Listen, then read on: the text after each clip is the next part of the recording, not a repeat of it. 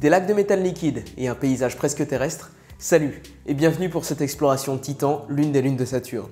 Aujourd'hui, nous allons suivre le même chemin que la sonde Huygens, atterrir et en explorer la surface. Mais si tu es nouveau, bienvenue, je m'appelle Corentin. Sur cette chaîne, on explore l'espace sans se prendre la tête, alors si c'est ton genre de délire, n'hésite pas à t'abonner juste en dessous. Maintenant, embarquons dans ma DeLorean de l'espace et en route.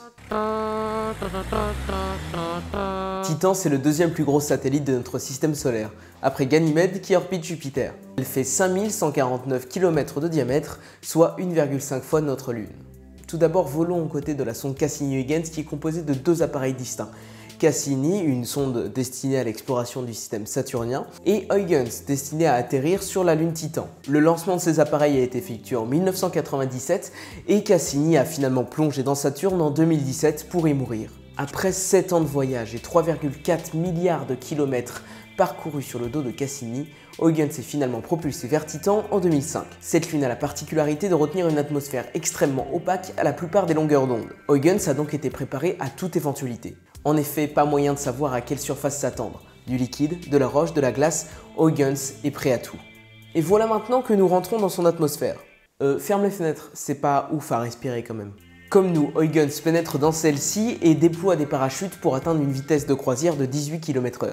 Cela lui laisse alors le temps de faire de nombreuses mesures scientifiques avant d'atteindre la surface. C'est comme cela que le fonctionnement de cette sonde a été prévu, encore une fois car le sol est inconnu. L'atmosphère de ce satellite est en grande partie composée d'azote, comme sur Terre. Sauf que la petite différence, c'est du méthane qui s'y mélange et non pas de l'oxygène. Donc c'est absolument irrespirable pour nous autres fragiles humains. Ça, check. La surface est toujours invisible car des hydrocarbures présents dans l'atmosphère auraient réagi avec les rayons du soleil créant ainsi cet épais smog. Nous voici alors en pleine descente aux côtés de la sonde. Celle-ci mesure actuellement les vents et repère une pointe à 432 km/h. La température varie entre un frisquet moins 180 et moins 150 degrés. C'est plutôt froid, non?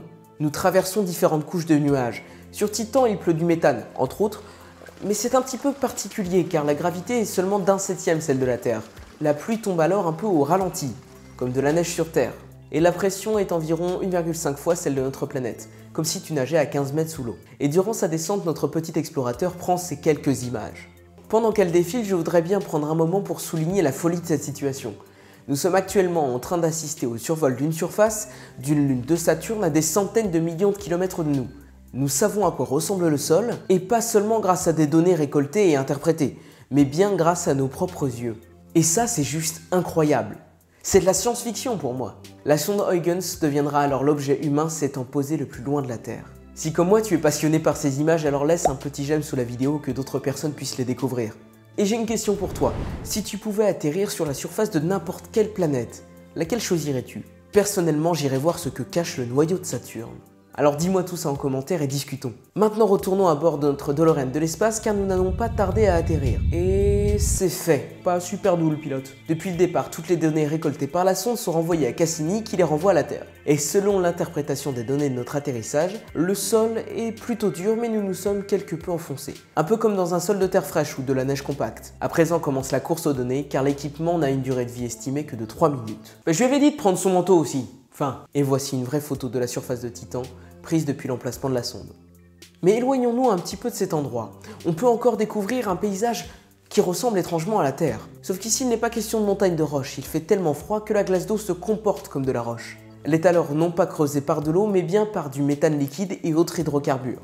Grâce aux données de Cassini qui orbitent autour de ce petit monde, nous avons pu repérer des lacs de méthane aussi grands que les grands lacs américains. Certaines étendues sont même assez imposantes pour être nommées comme mer du Kraken par exemple. Et on peut retrouver un cycle de fluide en apparence assez similaire à celui de la Terre. Alors imagine-toi te tenir debout un samedi après-midi près d'un lac d'hydrocarbures et te dire que tout ça te rappelle quand même vachement tes vacances en Dordogne de l'été dernier. Sauf que là on n'oublie pas le manteau. Mais les surprises ne s'arrêtent pas là, on y retrouve aussi des volcans. Mais pas ton volcan de base hein, qui crache de la roche fondue.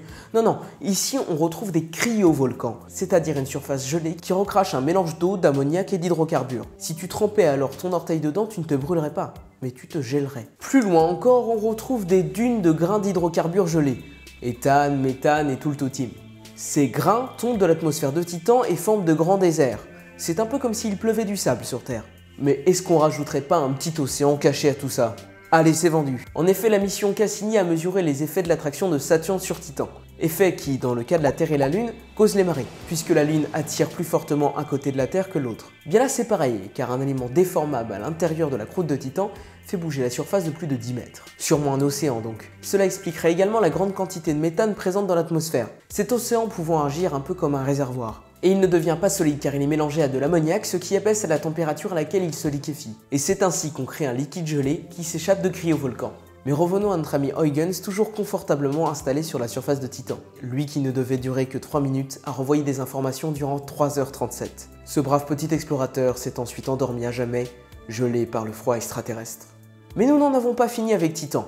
La NASA prévoit une mission en 2026 appelée Dragonfly. La classe Ça veut dire libellule. Ça veut dire libellule. Ah, celui-ci sera un petit drone qui volera à plusieurs endroits de la surface de Titan, afin d'y récolter des échantillons de liquide et de sol. Cela nous permettra d'avoir plus d'informations sur la géologie de ce monde, et peut-être de repérer des éléments qui auraient pu ou permettraient l'apparition de la vie. Ce nouvel aventurier partira en 2026 pour un atterrissage prévu en 2034. Et non loin de Titan se trouve Encelade, un autre monde passionnant qui orbite Saturne. Celui-ci est recouvert d'un océan chaud et salé qui éjecte son contenu dans l'espace avec des geysers à travers une couche de glace. Mais il y a aussi Saturne et ses anneaux fascinants. N'hésite pas alors à t'abonner juste en dessous et à cliquer sur la petite cloche pour ne rien manquer de ses aventures. C'était un plaisir. Bisous.